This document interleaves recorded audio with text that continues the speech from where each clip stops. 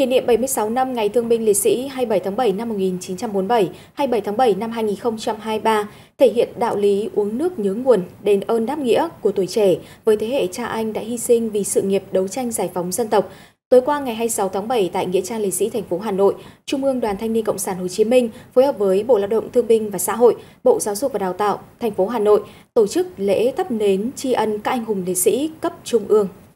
Tham dự và phát biểu chỉ đạo hội hoạt động có Đại tướng Phan Văn Giang, Ủy viên Bộ Chính trị, Phó Bí thư Quân ủy Trung ương, Bộ trưởng Bộ Quốc phòng. Lễ thắp nến tri ân cai hùng liệt sĩ cấp Trung ương được tổ chức tại Nghĩa trang Liệt sĩ thành phố Hà Nội, nơi yên nghỉ của 2.188 người con ưu tú của thủ đô, của dân tộc đã anh dũng hy sinh trong các cuộc kháng chiến của đất nước và cả trong thời bình –